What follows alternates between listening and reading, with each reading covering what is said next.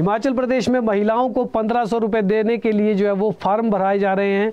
सरकार ने महिलाओं को पंद्रह सौ रुपये देने की घोषणा कर दी है। गाँव स्तर पर जितने भी तहसील कल्याण अधिकारियों के जो कार्यालय हैं, वहाँ पर महिलाओं की इस समय जो है वो कतारें लग चुकी हैं। लाखों फार्म जो है वो जमा भी हो चुके हैं और महिलाओं को उम्मीद है कि अप्रैल महीने से, जैसे सरकार ने कहा है, मुख्यमंत्री ने कहा है, पंद्रह सौ रुपये जो है वो मासिक तौर पर महिलाओं को मिलने शुरू हो जाएँगे। लेकिन यहाँ आदर्श चुनाव आचार संहिता भी जो है वो लग चुकी है, पूरे देश में आचार संहिता लगी है। और सवाल ये खड़ा हो गया है कि जब आदर्श चुनाव आचार संहिता लग चुकी है तो ऐसे में महिलाओं के खाते में क्या अप्रैल महीने से पंद्रह सौ रुपये की राशि जो है वो आनी शुरू हो जाएगी? ये खुद में एक बड़ा सवाल यहाँ पर खड़ा हो गया है, क्योंकि डायरेक्ट बेनिफिट जो है वो आचार संहिता के उल्लंघन में आता है, आचार संहिता के दायरे में आता है। ऐसे में महिलाओं को जो है वो इंतज़ार करना पड़ सकता है। हालाँकि इस पर अब चर्चा जो है वो होने लगी है क्योंकि इसका सीधा असर चुनाव पर पड़ना जो है वो पूरी तरह से तय है क्योंकि महिलाओं में नाराज़गी भी है और इसलिए उसको देखते हुए हो सकता है कि सरकार जो है वो चुनाव आयोग से ये सिफारिश करे इसकी इजाज़त मांगे उनके साथ पत्राचार करे कि उन्होंने पंद्रह सौ रुपये देने का ऐलान कर रखा है और बजट की घो, और घोषणा भी जो है वो इस पर हो चुकी है अधिसूचना जारी हो चुकी है ऐसे में इस आदेश को लागू किया जाए। तो अभी चुनाव आयोग के पास सरकार जाएगी या नहीं जाएगी वहाँ से कोई मंजूरी मिलती है या नहीं मिलती है, ये देखना होगा। अगरवाइज वहाँ से अगर आदर्श चुनाव आचार संहिता का मामला अगर उसमें फंसता है, बीच में कोई पेज फंसता है तो फ़िलहाल महिलाओं को अप्रैल महीने से ये पंद्रह की राशि नहीं मिल पाएगी। इस संबंध में अधिकारियों से भी हमने जो चर्चा की है, उनका भी यही कहना है कि अब आचार संहिता लगी है और आचार संहिता के चलते जो है वो डायरेक्ट बेनिफिट किसी को सीधे रूप से नहीं दिया जा सकता है।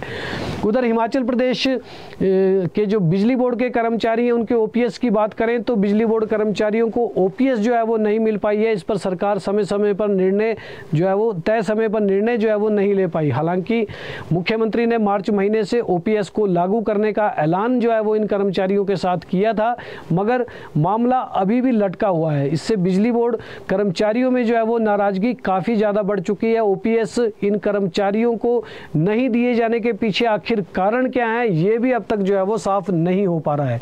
खुद कर्मचारी नेता इसको लेकर परेशान है क्योंकि कई स्तर पर वो मामले को जो है वो आगे बढ़ा चुके थे। अब आचार संहिता जो है वो लागू हो चुकी है और आचार संहिता के बाद उसके ख़त्म होने के बाद ही जो है वो ओपीएस पर आगामी चर्चा जो है वो हो सकती है। उससे पहले फ़िलहाल कुछ नहीं हो पाएगा।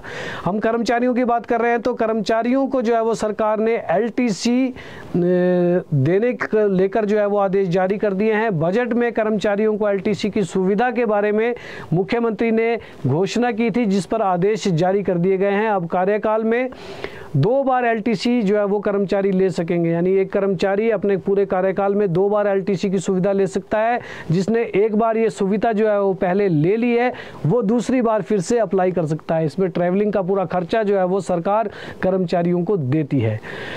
बागी विधायकों की बात करें तो छः विधायकों को जो है वो पैसा नहीं मिल पाएगा। ये पैसा है बजट, ये पैसा जो है वो विधायक क्षेत्र विकास निधि का है, जिसकी घोषणा बजट में मुख्यमंत्री ने की थी कि पहली अप्रैल से इसे बढ़ाने, बढ़ा दिया जाएगा, इसे बढ़ाने का ऐलान हुआ था।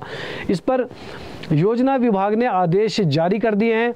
पिछले कल जो आदेश हुए हैं, उसमें विधायकों को दो करोड़ दस लाख रुपए की जगह, अब दो करोड़ बीस लाख रुपए की राशि जो है वो मासिक तौर पर मिलेगी। इसमें दस लाख रुपए की बढ़ोतरी जो है वो सरकार ने प्रतिमाह की थी। लेकिन बर्खास्त जितने भी छः विधायक किए गए हैं, जो बागी हो चुके हैं, ये पैसा जो है वो उनको नहीं मिले, मिलेगा।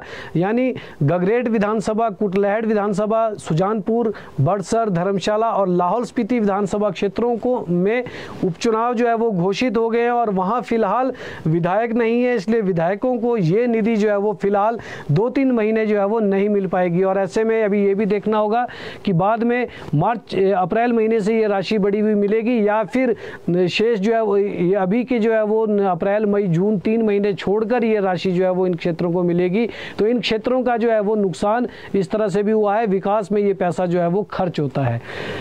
लोकसभा चुनावों की आदर्श चुनाव आचार संहिता लगने के चलते हिमाचल प्रदेश में हज़ारों भर्तियाँ भी जो है वो फ़िलहाल टल गई है, जिसमें टीजीटी है, जेबीटी है, कंप्यूटर शिक्षकों की भर्तियाँ हैं, वो लटकी हुई थी, वो अभी फ़िलहाल टल गई हैं। तीन दिन पहले एक हज़ार टीजीटी का बैच वाइज भर्ती के माध्यम से जो है वो चयन हुआ है। अब इन्हें जून तक का इंतज़ार जो है वो नियुक्तियों के लिए करना होगा। ग्यारह पदों पर जेबीटी की बैच वाइज भर्ती का परिणाम भी अब जून महीने में निकलेगा। वहीं कंप्यूटर साइंस प्रवक्ता के नौ सौ पचासी पदों को भरने पर भी फ़िलहाल जो है वो आगामी कार्रवाई नहीं हो पाएगी। तो आचार संहिता लगने के बाद कई तरह की पाबंदियाँ लगी हैं। राजनीतिक दलों उम्मीदवारों अधिकारियों के लिए नियम जारी हुए हैं। राजनीतिक दल और उम्मीदवारों के लिए रात 10 बजे से प्रातः 6 बजे के बीच लाउड स्पीकर का इस्तेमाल नहीं करने का नियम है। किसी के घर पर उसकी अनु, अनुमति के बिना जो है वो पोस्टर बैनर या झंडा नहीं लगा सकते हैं। राजनीतिक दल मतदाताओं को मतदान केंद्र तक पहुँचने के लिए अपनी गाड़ी की सुविधा सुविधा भी नहीं देंगे। मतदाता को अपने पक्ष में मतदान करने के लिए डराया या धमकाया नहीं जा सकता है। धार्मिक स्थलों का चुनाव प्रचार के लिए इस्तेमाल नहीं किया जा सकता है। तो इस तरह की बात कही गई है। इसके अलावा अधिकारियों के लिए जो नियम है, उसमें किसी सरकारी अधिकारी कर्मी की ट्रांसफ़र जो है, वो नियुक्ति, ट्रांसफ़र या फिर नियुक्ति अभी नहीं हो सकती। यदि तबादला करना बेहद ज़रूरी है तो चुनाव आयोग से उसकी स्वीकृति लेनी होगी। मुख्य सचिव के माध्यम से चुनाव कार्यों से जुड़े अधिकारी को किसी भी नेता या मंत्री से उसकी निजी यात्रा या आवास में मिलने की मनाही होगी पूरी तरह से और सरकारी भवनों में पीएम, मुख्यमंत्री, मंत्री, राजनीतिक व्यक्तियों के फ़ोटो लगाना भी जो है वो निषेध होगा। सरकार की उपलब्धियों वाले प्रिंट, इलेक्ट्रॉनिक और अन्य मीडिया में विज्ञापन भी जो है वो इस वक्त नहीं दिए जा सकते हैं। मंत्रियों, विधायकों के लिए भी पाबंदियाँ हैं। उसमें मुख्यमंत्री अपने जिला अधिकारियों के साथ वीडियो कॉन्फ्रेंसिंग नहीं कर सकते हैं। सरकारी या सार्वजनिक सार्वजनिक क्षेत्र के उपक्रमों के अतिथि ग्रहों में ठहरने की व्यवस्था नहीं होगी। किसी भी रूप में किसी भी वित्तीय अनुदान की घोषणा जो है वो नहीं करेंगे और ना ही कोई किसी तरह का वायदा किसी के साथ कर सकते हैं। किसी परियोजनाओं या योजनाओं की आधारशिला भी नहीं रखेंगे। सड़क बनवाने, पीने के पानी को लेकर काम शुरू करवाने का वादा भी नहीं कर सकते हैं। अपने जो मंत्री, अपने आधिकारिक दौरे के समय चुनाव प्रचार जो है वो नहीं करेंगे। प्रचार के लिए सरकारी वाहनों का जो इस्तेमाल है वो नहीं होगा। ना ही कोई की, सरकारी सुख सुविधा वो ले सक, भोग सकते हैं। सरकारी खर्च पर चुनावी रैली या चुनाव प्रचार जो है वो नहीं किया जा सकता है। सरकारी वाहनों का इस्तेमाल सिर्फ़ अपने निवास से लेकर दफ्तर दफ्तर तक ही उनको करना पड़ेगा। सरकारी खर्चे पर कोई प्रॉपर्टी या इफ्तार पार्टी का आयोजन नहीं कर सकते हैं। सत्ताधारी पार्टी सरकारी पैसे से सरकार के काम का प्रचार प्रसार जो है वो नहीं करेगी। विधायक या मंत्री अपने विकास फंड से कोई नई राशि जो है वो जारी नहीं कर सकते हैं। इस तरह की तमाम सारी जो है वो पाबंदियाँ जो है वो इस वक्त आदर्श चुनाव आचार संहिता के तहत हिमाचल प्रदेश में लागू कर दी गई है। हिमाचल प्रदेश की छोटी काशी कही जाने वाले मंडी में आज भूकंप के झटके महसूस किए गए हैं। रिक्टर पैमाने पर अगर देखें तो दो दशमलव नौ जो है वो इसकी तीव्रता मापी गई है। मंडी जो है वो भूकंप का केंद्र रहा। सुबह आठ बजकर चार मिनट पर ये झटके महसूस किए गए हैं। भूकंप से किसी भी तरह का नुकसान जो है वो वहाँ पर नहीं देखा गया है, लेकिन झटके लोगों ने ज़रूर महसूस किए हैं। वहीं हिमाचल प्रदेश में मौसम की बात करें तो फिर से एक बार पश्चिमी विक्षोभ जो है वो सक्रिय हो गया है। प्रदेश में 21 से 23 मार्च तक बारिश और बर्फबारी बताई गई है। चोटियों पर 18 और 19 मार्च को भी मौसम खराब रहेगा। अधिकतम और न्यूनतम तापमान में उछाल ज़रूर आया है, लेकिन बारिश होने से तापमान में गिरावट का पूर्वानुमान यहाँ पर दिया गया है। बागवानी के लिए ये इस तरह का मौसम जो है, वो पूरी तरह से नुकसानदायक साबित हो सकता है।